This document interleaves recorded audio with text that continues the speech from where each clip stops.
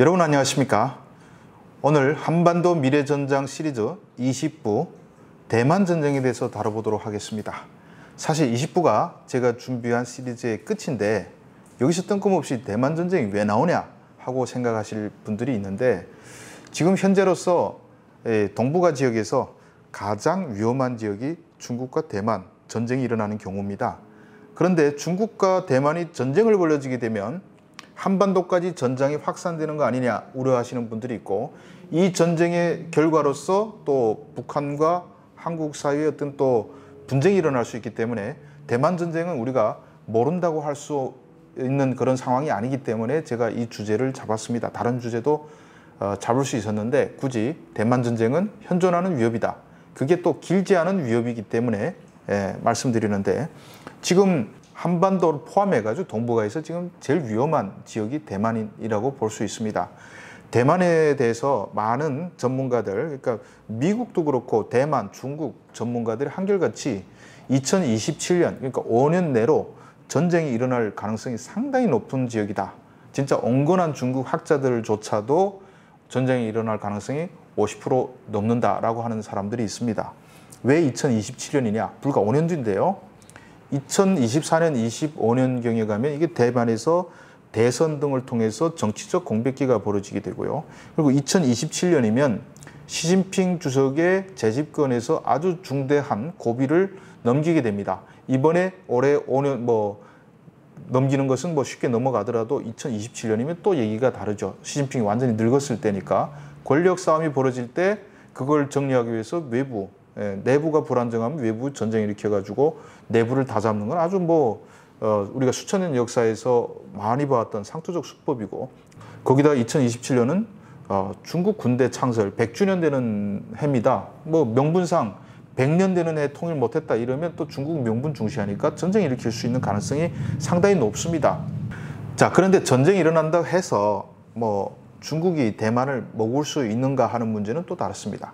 왜냐하면 어, 지금 러시아와 우크라이나 전쟁을 보니까 정말 많은 사람들이 놀란 게 아니 러시아가 저렇게 헛개비였어? 전쟁 벌어지게 되니까 완전히 뭐 수많은 허점들이 뭐 허점 투쟁이 완전히 러시아군은 종이 호랑이에 불과하다는 것을 우리가 볼 수 있습니다. 푸틴조차도 자기 군은 강력하다고 생각했을 겁니다. 근데 해보니까 별거 아니에요.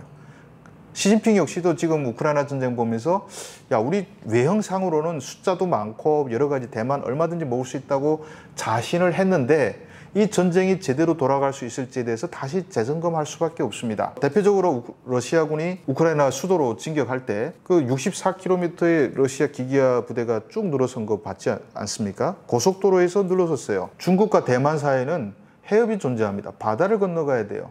러시아군은 세계 2위라는 러시아군이 고속도로에도 막혔는데 과연 중공군이 대만 해협을 넘어서 바다를 넘어서 대만을 점령할 수 있을까? 이거는 시진핑도 지금 장담하기가 어려울 겁니다. 예전에는 막 군사 지휘관들이 보고를 받으면서 우리는 얼마든지 먹을 수 있다라고 자신했겠지만 우크라이나 전쟁을 보면서 시진핑 다시 한번 우리 군의 역량은 과연 제대로 힘이 있을까라는 점을 우려할 타이밍이 된 거죠. 그러니까 이것이 대만 침공을 망설이게 만드는 중요한 요인일 수는 있습니다. 대만 해협을 건너오게 되면 대만의 방어 역량은 그 군함들을 까부시는 데다 집중돼 있으니까 중국 역시도 엄청난 피해를 볼 수밖에 없고요. 그 피해 규모가 어느 정도를 넘어선다면 시진핑도 대만 침공을 재고할 수밖에 없습니다. 그러면 대만 침공 시나리오는 어떻게 될까요? 제가 그래픽 하나 보여드리겠습니다. 자, 지금 보고 있는 그래픽이 어, 대만 국방부가 공개한 중국의 대만 침공 시나리오입니다. 우리가 여기서 볼 것이 중국과 대만 군사력 비교를 한번 보십시오. 중국군은 248만 명입니다. 이게 병력 숫자로 따졌을 때 세계에서 가장 많습니다. 거기다가 대만은 38만 명에 불과합니다. 이게 뭐 병력 차이가 압도적으로 에, 나죠. 그리고 뭐 전차나 화포나 이거는 뭐 더 말할 것도 없고 근데 뭐 사실 전차가 많은 건 중요한 건 아닙니다. 결국 바다를 건너와야 되기 때문에 에, 해군의 병력 차이가 엄청 중요한데 대만은 보십시오. 잠수함이 제일 중요하지 않겠습니까? 잠수함이 네 척밖에 없어요. 아, 대만은 좀 돈도 많은데 좀 잠수함 많이 사놓지 너무 없어요. 뭐 전투기도 6분의 1 그리고 대만에야 뭐 굳이 폭격기를 가질 필요는 없겠지만은 중국은 폭격기 많습니다. 여기 중거리 미사일 66기는 이건 이건 말도 안 되는 얘기인데 누가 만들었는지 요거는 잘못된 것 같습니다. 중국이 무슨 미사일 66기만 가지고 있을 리가 없죠. 자, 침공 시나리오를 보시면 개전 처음에 하는 게 그냥 예, 전투기 폭격기에서 그냥 폭격 을 한다는 거겠죠. 그래서 미사일 공격해서 대만 지도부를 없애버리고 전략 시설에 대해서 예, 미사일을 쏘고 그 다음에 전투기 폭격한다. 뭐 대만은 전투기를 동원해서 막는다. 뭐 이런 거고요. 그리고 한 전쟁이 일어나서 7일 만에는 아, 중국의 자기 동원 전투기 72%를 잃는다고 했습니다. 예, 그래 대만은 100대만 남는다고 합니다. 이게 뭐 제대로 되겠는지 모르겠지만은 어, 대만 국방부가 시뮬레이션 돌려본 결과라고 보니까 뭐 비교적 맞다고 보긴 하겠죠. 어쨌든 결론적으로 중국은 물량 공세로 지공권 장악한다. 그리고 8일 만에는 함대가 상륙한다. 대만은 잠수함 4척을 동원해서 상륙 함대 30 내지 32%를 격침시킨다고 합니다. 그럼 잠수함 뭐 보면 12대만 있으면 다 침몰시킨다는 계산이 나오는데 왜 대만은 잠수함을 안 만드는지 또 의문이 되네요. 그렇지만 어찌됐든 중국은 상륙을 해서 10여일 만에 대만이 완전히 점령된다라고 했습니다. 자 이렇게 대만 국방부에서 돌려본 전쟁 시뮬레이션 결과를 말씀드렸고요. 또 뭐 여러 가지 시뮬레이션 많이 나옵니다. 로이터 통신도 대만, 미국, 호주, 일본 전문가 군사전략가 12명, 그리고 전 현직 장교 15명 해가지고 인터뷰 해가지고 여섯 가지 시나리오를 제시했습니다. 단계별 시나리오. 그첫 번째로는 준설선을 통해서 통신 케이블, 그러니까 통신부터 파괴한다는 통신 파괴하고 그 두 번째로는 이거 봉쇄를 한다고 합니다. 예, 그래서 봉쇄를 하는데 그 전에 중국 본토 푸젠성 해안에서 불과 9km밖에 떨어지지 않은 대만 소유의 마츠섬이라는 게 있습니다. 이 섬에는 사람들이 13,500명만 살고 있는 작은 섬이고 샤먼에서 6km 떨어진 찐먼다오, 찐먼도 여기는 14만 명이 거주하는 큰 섬이고 요새화되어 있습니다. 근데 이, 이것을 공격해서 점령한다고 합니다. 요거는 뭐 중국 딱 바로 붙어 있기 때문에 중국이 마음 먹으면 얼마든지 예, 점령이 가능하고 이거 먹고 그 다음에 대만을 봉쇄해 가지고 항복을 요구한다는 거죠. 계속 항복을 요구하다가 대만이 항복하지 않은 경우에는 병력을 동원해 가지고 상륙 작전 한다. 지금 중국에서 예, 상해, 칭다오 뭐 이쪽에 조선소들에서요. 중국의 물량 공세는 유명하지 않습니까? 무려 4만 톤급 예, 상륙정들을 지금 찍어내고 있습니다. 4만 톤급 상륙정이면 1000명의 병력을 상륙시킬 수 있는 그런 능력을 가진 상륙정입니다. 이 상륙정이 무슨 우리가 생각하는 그냥 수송함 개념이 아니고요. 상륙정이 뜨면 그 위에 뭐 헬기도 많이 실어요. 20대 이상 실어요. 그 뭐 미사일 사격하고 공군 전투기들이 폭격하고 그 헬기 가서 해반을 그 해안을 초토화시키고 그리고 상륙한다 이런 개념이기 때문에 상륙정 하나의 그 무장 장비도 뭐 우리가 무시할 수가 없어요. 병력만 갑니까? 탱크, 수리경차 다 싣고 가서 상륙하는 거죠. 이런 것들을 지금 중국이 막 찍어내고 있다는 겁니다. 어, 대만은 이거 항공기와 잠수함으로 방어를 하겠지만 역부족이죠. 자, 이게 뭐 우리가 지금 한반도 미래 전쟁에서 대만과 중국의 전쟁 시나리오를 긴 시간 동안 말씀드렸는데 어쨌든 결과적으로 압도적 병력 차이 때문에 대만이 방어를 하게 되면 결과적으로 중국은 이긴다라고 나와 있습니다. 이거는 미군의 개입이 없는 조건에서 뭐 당연하지 않겠습니까? 자, 그럼 미군은 어느 정도부터 개입할 것이냐? 미군은 아마 봉쇄 단계에서부터 개입할 것으로 예측하고 있습니다. 중국의 수상함들이 나와서 대만을 봉쇄하게 되면 어, 미국은 전단을 동원해가지고 그 봉쇄를 깨기 위해서 도와줄 거라는 거죠. 이때부터 개입합니다. 그러면 미국의 항공모함 전단이 동원되면 반드시 어, 동원되는 병력 어디 동원되겠습니까? 오키나와 뭐 이런 데서 동원되겠죠. 중국은 그걸 막기 위해서 오키나와를 공습하는 시나리오 강하게 제기되고 있습니다. 근데 미국이 오키나와 기지를 공격당하면 미국이 가만히 있겠습니까? 이때는 그래 중국하고 미국이 붙어버리는 거예요. 그러니까 중국도 아주 심중할 수밖에 없지만은 근데 미군이 또 와가지고 중국 군함을 또 격침시키면 중국이 가만히 있겠습니까? 군용기를 떨구고 하면 당연히 또 반격하고 이게 정말 도화선이 됩니다. 어디서 양쪽에서 스톱해야 될지를 모르는 상황에 놓이게 됩니다. 자, 이때 일본 기지가 뭐 오키나와가 위험하다는 건 누구나 다 알고 있는데 한국의 평택 미군 기지는 안전할까요? 주한 미군이 지금 많이 주둔하고 있는데 대만이 위협하면 당연히 미국에서 더 많은 병력들이 한국에 주둔하게 될 것입니다. 그 근처에 갖다 놓을 거 아니겠습니까? 한국이 전쟁 기지로서 미국의 후방 전쟁 기지로서 기여를 하게 되는 겁니다. 그러면 중국이 한국을 향해서 미사일을 안 쏠까? 평택 기지를 가만 놔둘까? 라는 점이 존재합니다. 왜냐하면 평택 기지에서 비행기들이 발전해서 중국 전투기를 공격하면 가만히 있을까요? 두고만 보고 있을까요? 라는 문제점이 존재합니다. 자, 이래서 중국과 대만의 전쟁에서 한반도가 개입할 수 있다는 거예요. 그러면 여기서 우리가 중요하게 볼 것이 우리가 지금 한미 동맹이기 때문에 미국하고 전쟁 붙으면 우리가 자동으로 대만을 도와서 참전 가능하냐라는 의문이 생길 수 있습니다. 이 점에 대해서는 음, 많은 법학자들 뭐 당연하게 얘기하는 것이 중국과 대만이 전쟁을 벌이게 되면 한국군은 참전할 의무가 전혀 없습니다. 왜? 공식적으로 이건 내전입니다. 국가 간 전쟁도 아니고 또 국가 간 전쟁이라 해도 한국이 거기에서 개입하다가 중국하고 전쟁 벌리면 이거는 뭐 어리석은 참전이죠. 이거는 괜찮은데 미국이 개입하는 경우에 그리고 미국이 그냥 자기들만 죽겠다고 합니까? 한국을 향해서 동맹국으로서의 의무를 다 수행하라라고 하게 되면 어쩔 수 없이 한국도 역시 개입할 수밖에 없어요. 개입하는데 적극적 개입은 이루어지면 안 되겠죠. 전투병력 파견하게 되면 이건 중국에 대한 선전포고고 한국에서 미사일을 중국 영토에 쏘게 되면 이거는 중국과의 전쟁입니다. 그렇기 때문에 우리가 개입하는 것도 어느 정도 선이 있겠죠.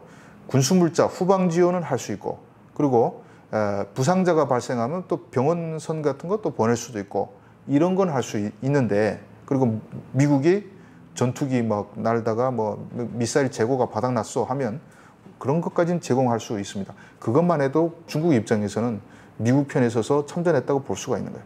근데 중국에서 만약에 평택을 향해서 미사일 쏜다. 이건 얘기가 달라지는 겁니다. 왜, 왜냐하면 우리 영토가 공격을 받았어요. 영토가 공격받았는데 한국군이 뭐 어떻게 중국이니까 입딱 쓸거 모른다 할 수가 없어요. 이때는 그다음부터 우리가 선택의 기로에 나서게 됩니다. 중국을 향해서 보복을 할 것이냐 말 것이냐는 이거에 대해서는 그 다음에 어떻게 전개될지 몰라요. 또 하나 우리가 중요한 시나리오는 중국하고 대만이 전쟁 벌어져서 어, 한국에 있는 주한 미군의 전략자산 병력들이 대거 대만을 지원을 가게 되면 그 다음 어떻게 됩니까? 김정은이가 어 이게 뭔 기회지? 그렇다해서 뭐 북한의 허접한 군사력 가지고 침공해올 일이 없지만은 여기 시진핑이 요구할 수 있어요. 시진핑이 야 저 주한미군 못 가게 너희들이 잡아도 라고 말하면 김정은이가 도발을 할 수가 있는 겁니다. 이 공백을 타가지고 한국군의 전투 역량도 시험해 볼 겸. 뭐 북한이 어차피 뭐 몇 명 죽는 게 별로 중요치 않죠. 그리고 김정은 딴에는 내가 행복이 있으니까 이 정도 도발한다 해서 전면전으로 들어오진 않을 것이라는 그런 생각을 할 수가 있는 겁니다. 그러면 한반도가 위험해지는 겁니다. 왜냐하면 중국, 미국, 거기다가 한반도까지 전쟁에 개입되는 그런 상황이 벌어질 수가 있습니다.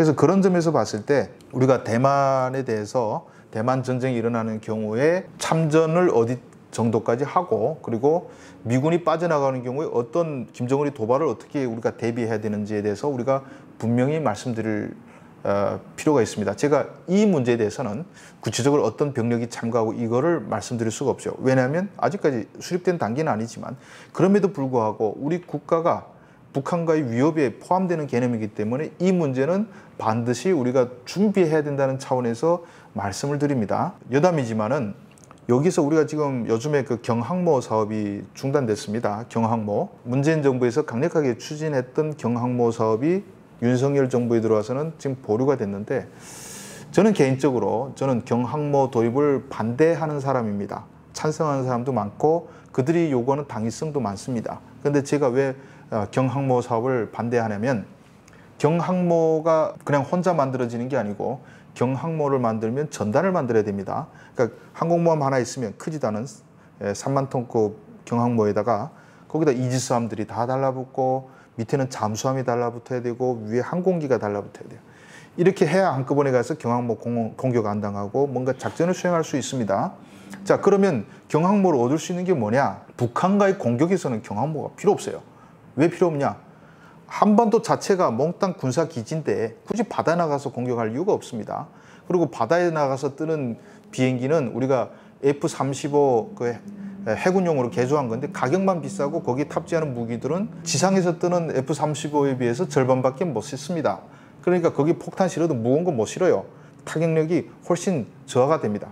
서해에서 뜨나 뭐 우리가 저 오산 기지에서 뜨나 별 차이가 없고요. 서해 들어가면 이건 움직이는 목표판입니다. 미사일들이 사방에서 날아오면 방어를 견딜 수가 없습니다. 그렇다 해서 무슨 뭐 중국이 저 우리가 해상 교통로를 차단한다 동남아 그 경항모 가서 풀겠습니까? 그 조그만 거 가서 중국의 그 군사력 다 허물고 그거 그 구멍 내 가지고 하겠습니까? 이거는 예, 해상로 보호는 미국이나 할 수 있는 거지 이게 한국 역량 가지고는 한 열척 좀 있으면 가능하겠지만은 경항모 하나 가지고는 우리가 할 수가 없어요.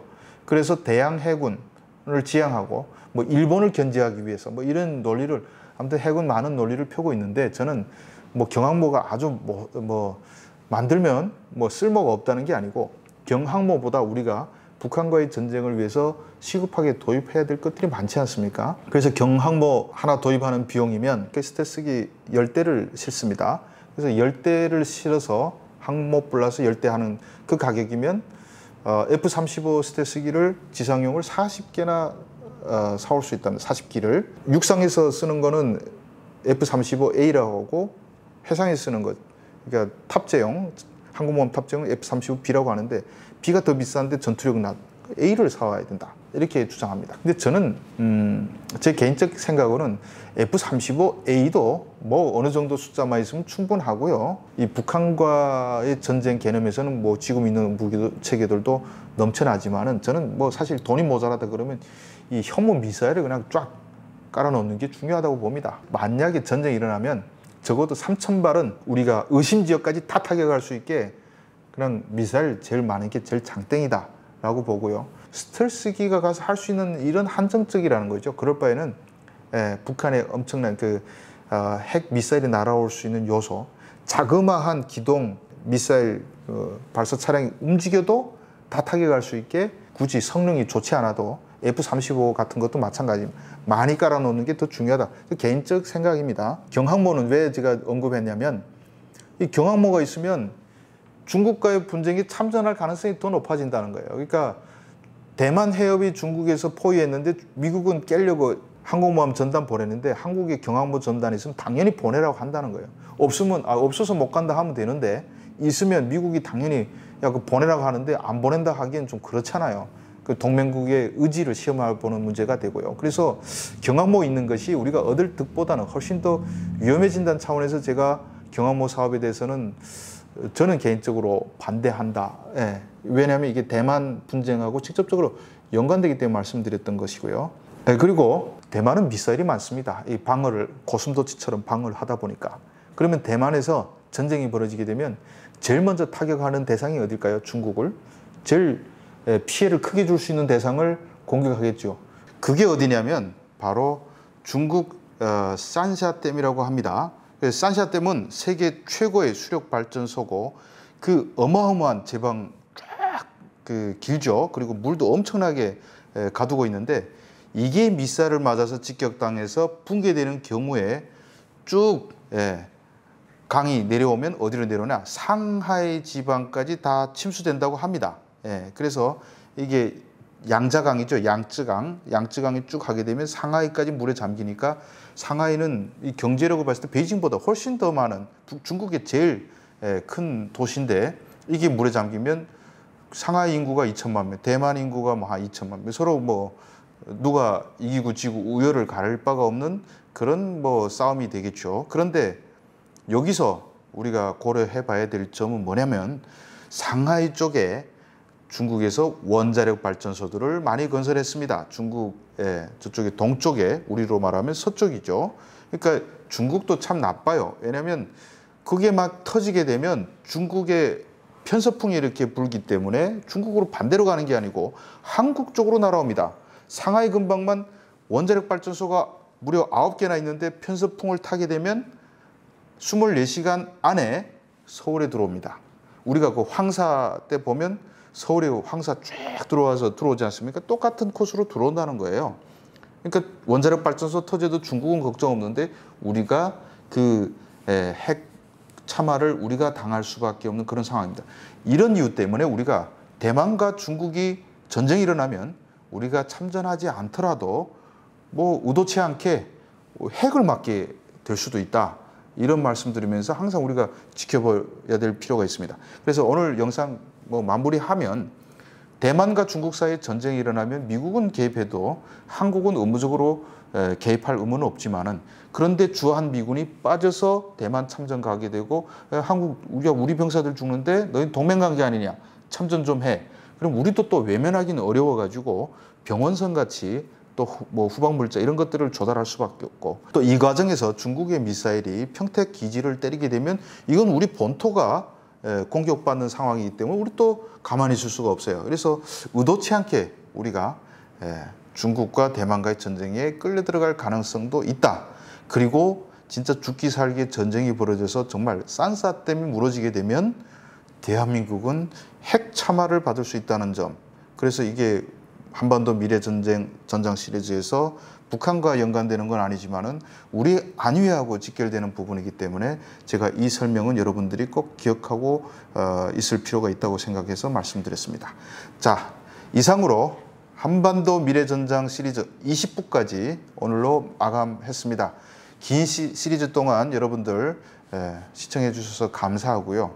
그리고 군사 시리즈 하다 보니까 예, 어, 주로 여성분들이 한 10%쭉 빠졌어요. 남성분들이 많이 보고요. 그래서 앞으로는 좀 여성분들도 볼 수 있는 거를 다시 또 어떤 예, 좋은 소재를 가지고 찾아뵙도록 하겠습니다. 감사합니다.